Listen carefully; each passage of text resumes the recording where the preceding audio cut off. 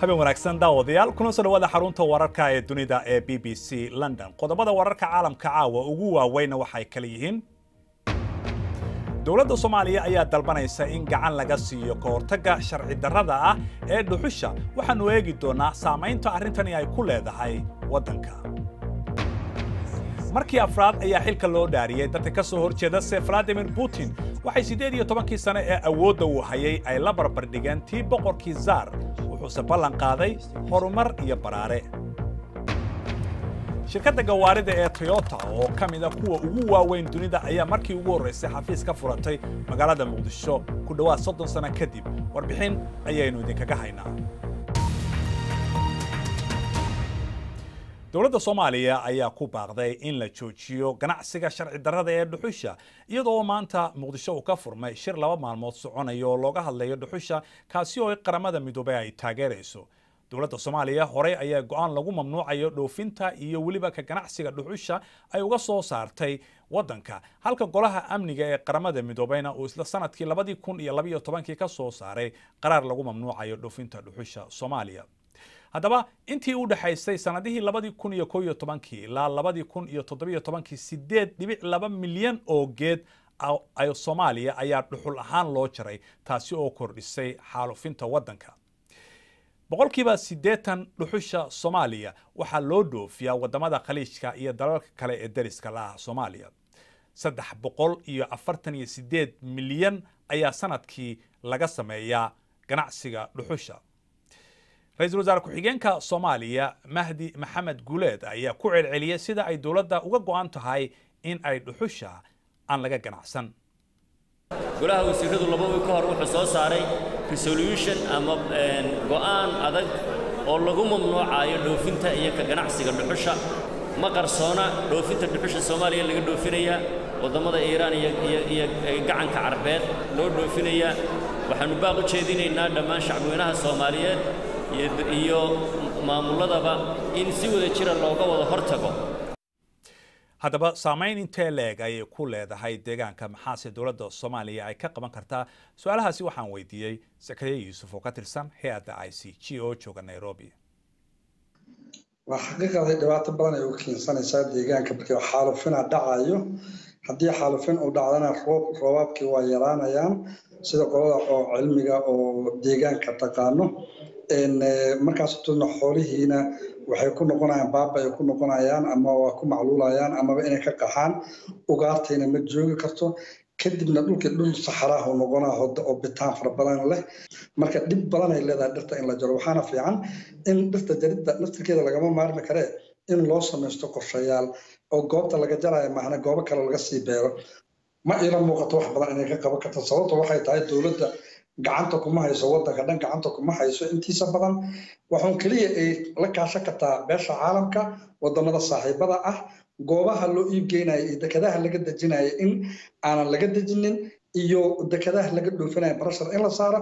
Maana toos waxay uga qaban karto oo weyn ma jirto mana muuqato.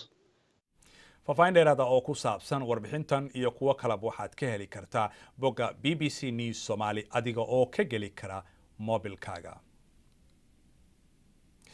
naciimo abwaan qorane oo dhowaan maxkamadda gobolka hargeysa ee xukuumadda iskeed ugu dhawaaqday madax banaanida ee somalilan ay saddex sano oo xabsi ah ku xukuntay ayaa saaka laga sii daayay xabsiga. Kadib markii uu cafis u fidiyey madaxweynaha somalilan muuse biixi cabdi.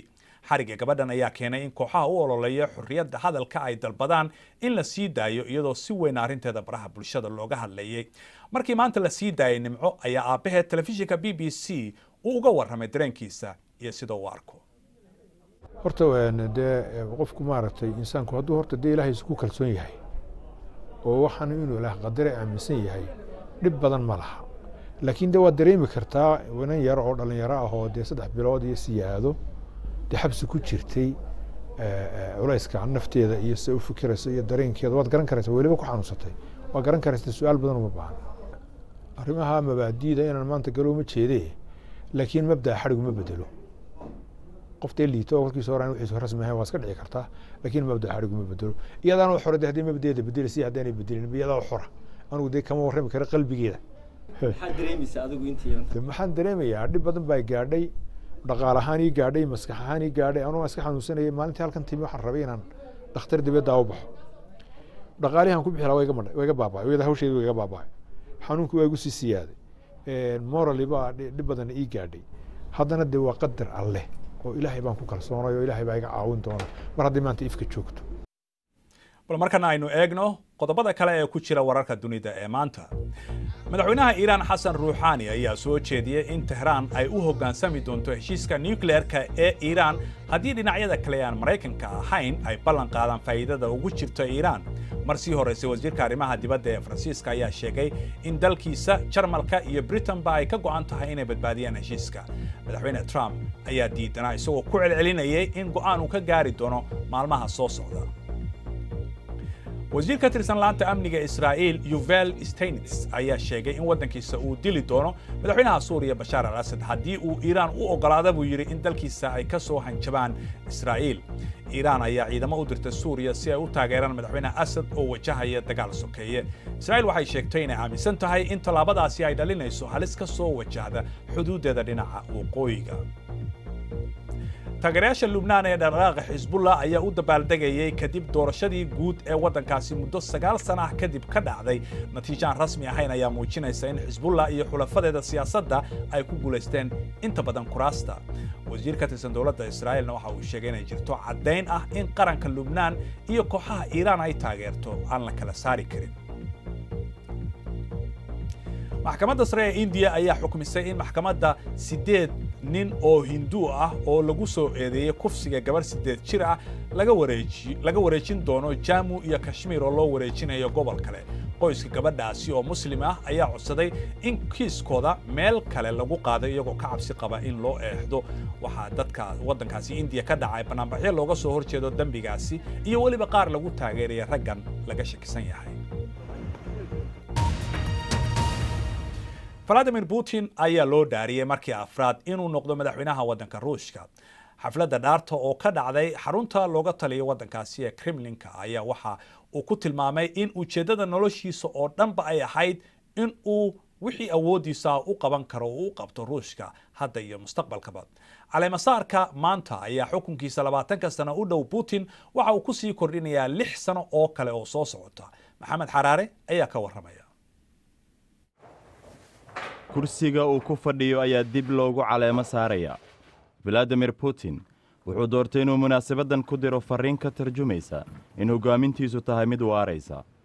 Kolkan waxaa jira dareen waddaniyadeed gaari lamusiin cusub oo ruushka lagu farsameeyey ayaa u qaadaya dhanka daaraha dhagaxdixeedka ka samaysan ee kremlinka. In yar dabadeed waxa uu soo gaadhay rugta xafladdiisa waa markii afraad ee putin maro waddadan wuxuu noqonayaa hoggaamiyihii ugu wakhtiga dheeraa ee ruushka casriga ah soo maray. Tan iyo josef stalin. Mar kale valadimir putin wuxuu ballan qaadayaa inuu noqon doono shaqaale daacad u ah dalka iyo dadka. Wuxuu ka soo gudbay doorasho dusha ka saartay mas'uuliyad ballaaran waxaan ka mahad celinayaa taageeradii ballaarnayd ee ay siiyeen muwaadiniinta ruushka doorashada madaxweynaha. Waxaan u arkaa taageeradiinnu inay ahayd hanti siyaasadeed oo weyn iyo taageero laysku hadlayn karo. Taageeradiinnu waxayna siinaysaa rajo iyo inaan sii wadno kor u qaadista awoodda ruushka iyadoo dadkeennu helayaan nolol wanaagsan. Ha yeeshee muuqaallo caynkan oo kale ah. Ayaa gebi ahaanba ka socday ruushka. Ka hor inta aanan la gaadhin xafladda caleemasaarka ma aha dad isu soo baxay oo keliya ee waa dhallinyaro gadoodsan oo isbeddeldoon ah. Balayska ayaa hor istaagay. Waxayse ku qaylinayaan ruushku ha xoroobo ruushka oo dib u bullaala waa caqabadda reer galbeedka ka soo qaad suuriya oo ruushku gacan militari siiyo in madaxweyne asad haysta awoodda ama maraykanka oo ruushka lagu eedeeyey inuu faragelin ku sameeyey doorashooyinka. Waxaa sidoo kale jira dhacdadii magaalada salisbury u k oo nin hore basaas ruushiyaan u ahayey gabadhiisa dhowaan lagu sumeeyey sumayntan oo moskow ay in badan iska bari yeeshay iminka uu madaxweyne putin mar kale xilka qabanayo. Ma jiro nidaam qayaxan oo lagu afmeerayo khilaafka ruushka iyo galbeedka u dhexeeya. Xagga cayaarahana merci arsen waxay ahayd fariinta tababaraha arsenal arsen wenger oo cayaartiisii ugu dambeysay ee garoonka emirates ay kooxdiisa ku garaacday banley shan iyo eber. Lixdan iyo siddeed jirkan faransiiska oo ka tegaya arsenal kadib labaatan iyo laba sano oo uu maamulayay ayaa u mahad celiyay taageerayaashiisa waxaana uu ku dhiirigeliyay inay ka dambeeyaan naadigooda mustaqbal wanaagsanna ay rajeeyaan. Guys who managed 22 years a club of that stature, you have not many. yaa maamulay naadi heerkan oo kale ah muddo laba iyo labaatan sano ah ma badna.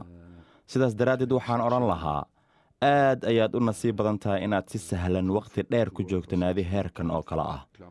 Dhanka kale waa inaan aad uga fakaraa inaan aad u qiimeeyo daqiiqad kasta oo aan halkan ku sugnaa. Laakiin sidoo kale waxaan gelayaa bilow cusub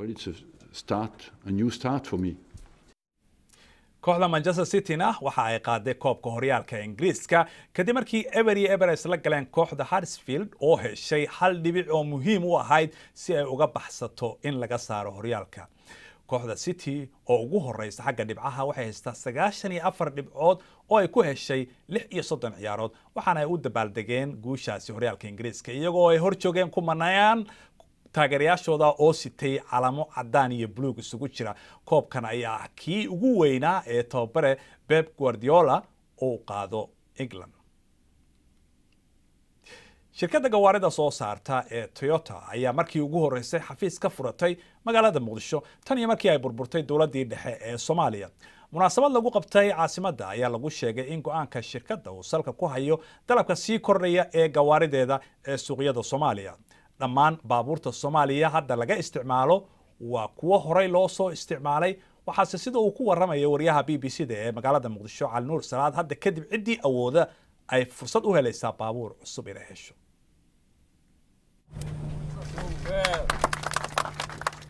Waa dhacdo wax weyn ka beddelaysa isticmaalka baabuurta lana filayo in ay daboosho baahida loo qabo baabuur aan horay loo soo isticmaalin shirkadda toyota hadda waxa ay wax soo saarkeeda ku iibinaysaa bartamaha muqdisho. Waxaan awoodnaa hadda in toyota aan iibino. waxaan ku siinaynaa dammaanad. Sidoo kale dib u hagaajin iyo farsamooyin ayaan bixinaa ee qaybaha gaariga.